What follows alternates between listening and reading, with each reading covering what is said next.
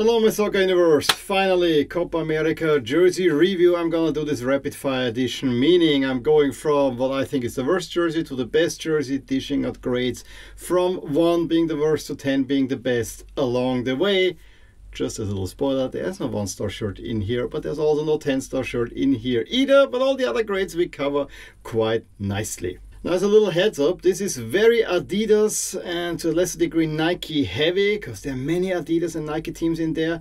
And then there are three other brands that cover four other teams. So just to have a little smidgen for one brand, I'm actually quite excited to review a shirt after a long time again. So hold out for that one. Panama. And as usual, all the pictures in here of the jerseys I have taken off Football Kit Archive. Please check it out if you're a football shirt fanatic as I am. It's a great resource to look at things. Sometimes I looked for manufacturers' pictures if I want to have a different angle. And I really want to thank FM Slovakia for putting nice mock-ups of the Uruguay and Panama jerseys on there because we only got release pictures that would not have fitted nicely in this video. So while they are just sketches, they actually look way better than if I would have put release pictures in there. Okay, enough of the preamble. We have 33 shirts to be ranked in here, and I would say let's start right at number 33, which is a two-star jersey, which is the one I like least, Canada. Canada home. Yes, a bespoke Canada jersey. And yes, they're doing something very interesting with the Nike swoosh. Really like that, that they put an old style, 80 style swoosh in there. But really, the collar looks completely weird.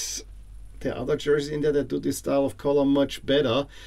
And I still cannot pass the Canada crest. The two, it just it's it's a mess. I would expect more from a Canada jersey. Do what the women got. The women got an awesome jersey. This one, similar, and I really have a hard time with that one. But the Brazil jersey, I just don't like it. A from the accent color in the turquoise. You know, Brazil, there should be some yellow in there. But that's maybe the smaller issue. The bigger issue here for me is the overall pattern, which is just a mess. And I think the color itself, when you see them wearing them, it just does not look right. It's it's a messy jersey. Therefore, it rates very, very low in my countdown. Let's go over to the three-star jerseys. Mexico. I've been going back and forth on this one. There's something really cool in there. This feather pattern that is, you know, kind of Aztec related that's actually a really nice idea, but it's so in your face. If this was a subtle pattern, or if you want to go with the traditional dark red uh, that Mexico used to have, you can use that and then make a subtle pattern after. But it's so much in your face. Not really digging that one. Idea great, execution poor, I'm sorry to say. Four star jerseys, the Paraguay way doesn't excite me at all. I mean, it makes some sense, but what is this pattern? It's just a little bit wild, a little bit unmotivated, I would say. Also, the light blue trims, I think a little bit of red could have helped here, a little bit more white, you know, get the country's colors a little bit more in. Costa Rica home, similar to Mexico. I think the idea is there, but this jersey is an absolute mess. A, it's epilepsy inducing, and B, when they were playing in that one, they couldn't even play against Paraguay in a proper jersey because both of the colors of Paraguay are in there. It's just a mess. And don't get me started on, on the patches, but it's mostly the pattern. There's something really interesting there, but it's again too much in your face you can do better Adidas. And the new crest for Costa Rica, don't think we've seen that one before. I'm also not a big fan of that one. The Chile away jersey, yeah, just we know this is the Adidas template. I think there's a nice pattern in there in the bottom stripes, but other than that, too blob. USA away ice cream jersey. I think it was better in 2014 when they had similar colors for the away jersey. This one, yeah, doesn't make much sense at the zero zero on there. Just ignore that one for now. I think the US had way better jerseys you don't even see that as an asymmetric color, but there's an asymmetric color which doesn't help the shirt as well. The Paraguay home jersey, there is something I like about it. I think the blue accents within the striping, but then it is just too Puma templatey, you know, only a half moon for the collar. The sleeve cuffs are cool, but then you have the blue coming here. I think if the striping was worked out well and then all the other template stuff goes away, this could be a really good jersey. A really interesting one. This way, nah, not digging it all that much. Mexico again, the away jersey. Yes, here they go a little bit more subtle. I really love the top part, but then leave the bottom a little bit more plain I would like. Also the color, I think that's the one thing that really turns me off on this one. Again, good idea execution. That's where i find this lacking. Having said that honestly i wouldn't mind having either of these mexico jerseys although they're not pretty. They're really not pretty but you know some something that gotta get some ugly jerseys to make a splash in your collection as well. I also don't like the brazil home jersey again it's the pattern on the sleeve cuffs uh, that we saw in the away jersey uh, that is a little bit odd but that's the least problem of this one the big problem i have with that one is that you have the bright yellow jersey and then you go with almost whitish lines to make a pattern in that is just too wild.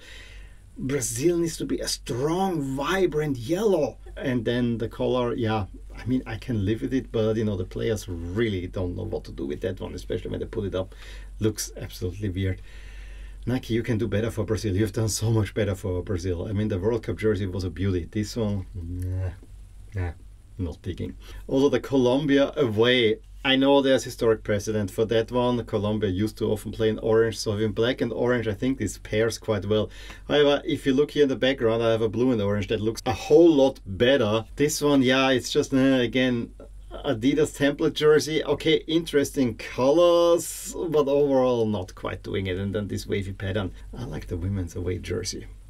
Better. Let's go five stars. Venezuela away. Venezuela curiously enough, does not follow the modern Adidas template. They just switched to Adidas, but they got the 22 template, which actually makes for nicer jerseys. And overall, this jersey looks quite nice. My only problem is, what is this pattern around the chest? I know this should probably be a V, but why is it so contorted and twisted, da da da? And then there's a red missing in there. That's what annoys me with this one. Otherwise, this could be a really nice jersey. If you have a flag band here, I would probably put this really high up. But this way, yeah, the pattern on this one is just off. Colombia home, meh. Meh. I mean, there's a whole lot of red and flamey stuff, but again, like for Brazil, I like it vibrant. I actually like my Colombia jersey more trimmed in blue than in red. I'm missing a little bit that contrast there in this shirt. Other than that, I think it looks okay. The only thing is, you know, there's too much red then going onto the back. Panama way, Reebok. We have Reebok. We have Reebok jerseys again. I think this one is decent. Nothing exciting. There's a nice shadow pattern in the new Panama crest, which, yeah, okay.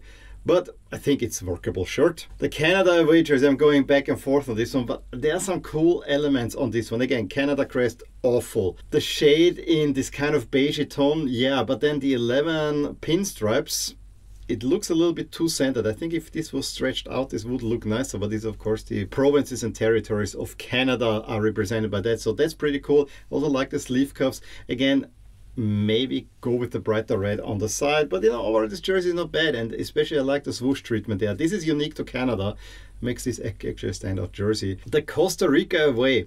This pattern we have seen before I think Olympiacos had this on their third jersey this season. For some reason it works for Costa Rica and even all this template stuff from Adidas somehow works. I shouldn't like this one but for some reason I do. So this sits actually quite high in the counter much higher than I would have expected. The Panama home again, what I say for the away, I just like is the red and the gold. This makes it quite nice, and also the crest is sticking out a little bit nicer. I would have probably liked a little bit better treatment for the collar, maybe a bluish collar that would have added a little bit pizzazz there. But I also love the pattern there. So you know, nothing exciting, but also it's not that bad. Six star jerseys. Uruguay just switched to Nike before the Copa America. We were with Puma, then they wore some self produced kits in early qualifying campaign. Now they just released those Nike jerseys. They take the template with the weird collar, but for some reason that works. It's simple, but it's Uruguay. And the collar adds a little something much better than the Canada jersey, I gotta say.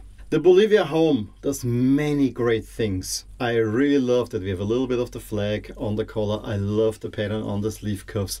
I do not like the light green color. If the colors are reversed, that is a mainly dark green shirt and the accents are light green, this would be an absolute winner for me. This way it just sits at 6 stars, but this could be much better. But Marathon is usually delivering quality work. The Chile home Yes, Adidas template, but looks a whole lot better and notes there's a dotted pattern that just leaves a blank area, which is the star from the Chilean flag. I think this is really well done. Also, white on the bottom, blue on the top. That's an interesting shirt, I gotta say. Not great, but interesting. Then we have the Ecuador home. The reason why I rank this a little bit lower is A, the picture is not that great, especially how the way the color looks, but I absolutely love a sash design, especially by Marathon. You know, you see the one from Peru back there. The one thing that's really bad with the jersey is not seen in the picture is the back of this one is plain navy. And that does not make any sense. In fact, for the Copa America, they had to put a yellow square with a navy number on there. Make this all yellow, and I think we're having an absolute outstanding jersey. But this is a design flaw that just makes no sense whatsoever. At 7 stars, the Peru away. Many love this jersey, and I think the color combination is nice. I just don't feel it very Peruvian. I mean, tiger stripes? Yeah, okay, Peru has quite some jungle, but I would not associate this with Peru per se. If you put an Inca pattern on there, I think I would love this a whole lot more. Also, I think I like Peru a little bit better in red than in black.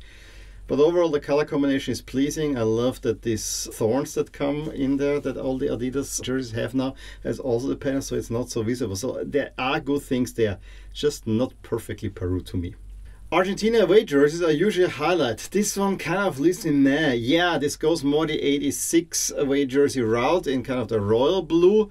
And then you have an Argentinian flag collar, which is very rare that the current Adidas jerseys do that. They can do that quite well here.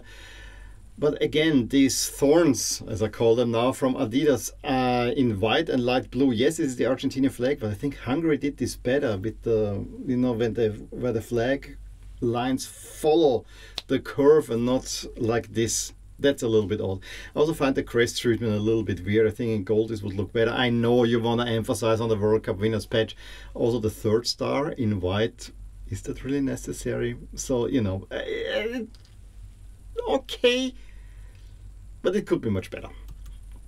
The Jamaica home. When I first saw this, I was kind of, yeah, okay, Adidas template in Jamaica colors. It's kind of cool that they used the green for the shoulders, so you have the raglan pattern there, and then the black patches don't bother me that much. When you look at it a little bit closer, there's quite some patterning going on in a shadow pattern way, and that makes the jersey quite nice. I also like the way they did the collar. It's not cut yet; it has the full V-neck, so that jersey actually looks quite nice. I gotta say, maybe a bit too templatey, but overall, I think this is a winner.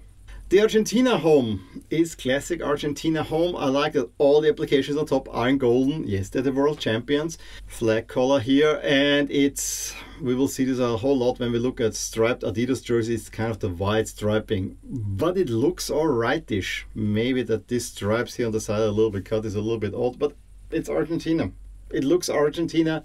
It's the first jersey newly released as world champions, so I guess this sells high. And I think they're not doing much wrong. They just dig into the colors of the Argentinian flag and add golden, which is also in the Argentinian flag in, in terms of the sun. So, not much wrong with this one, but it's also not exciting. I said marathon delivers some quality work usually. Yes, I think the Bolivia way is a really nice example of that one take it. Just it's a red Bolivia jersey. Maybe the collar, the front is a little bit off, but look at the patterning on there. This is the the weaved pattern that you see all over the Andes. Yes, maybe a little bit more colorful, but I think it's okay that it's not. This is what Mexico could have done. It looks actually awesome. It's pinstriping, but there's a little bit. It's this is a better version of what Mexico tried to do, and what Panama are doing, but it's a whole lot more intricate and therefore a whole lot better. Good job, Marathon for Bolivia. Peru I think it's just by default sitting here because I actually don't like the red slivers going up here. But other than that, Peru jerseys always look nice. The red sash design and then, you know, the golden applications. It's Peru. Maybe if the slivers here could have been white, this would have made for an even better jersey. Now we're going to the top and with 8 star Marathon delivers quality work. Nothing fancy about this Ecuador jersey, but I think in white with the chest band, there's something cool about that. That houses also the number. I think it looks quite smart. Simple, but the colors, everything looks great there. I also like the Uruguay home. Again, this weird half-half color, but in black and white. This trims the Uruguay shirt so nicely. It's the classic Uruguay color. I love the black side striping, but also the white sleeve cuffs. It just fits, it's Uruguay doesn't need to be fancy. It's a classic Uruguay jersey. However, the color is even better, and I think the only reason to have this color is this America jersey. Look at it, this is the American flag up on the collar. It's a brilliant jersey because of that. Maybe the sleeve cuffs, one could have been blue, the other one with the stripes. I think it's one of the best US jerseys in recent memory. Yes, the crest again could use a little bit of work, but overall this looks quite nice, I gotta say. And I love a classic US jersey. I love the Ecuador third. Again, nothing fancy, but navy with gold. It's just a color combination that's extremely pleasing. And again, marathon.